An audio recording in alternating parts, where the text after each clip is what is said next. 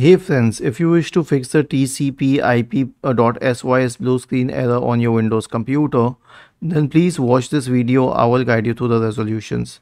Now the first solution is to reset the TCP/IP protocol, but I will suggest you a better thing. Simply reset the network.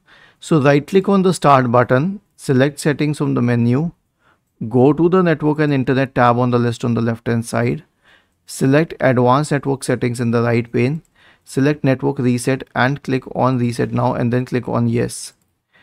The second solution is to update the network card drivers. How would you do that? Search for device manager in the Windows search bar and open device manager.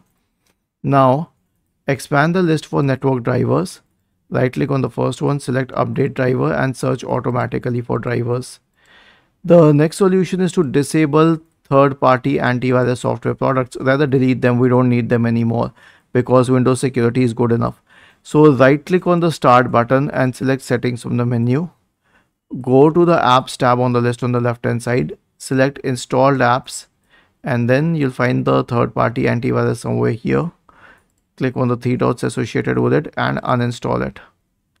Was this helpful?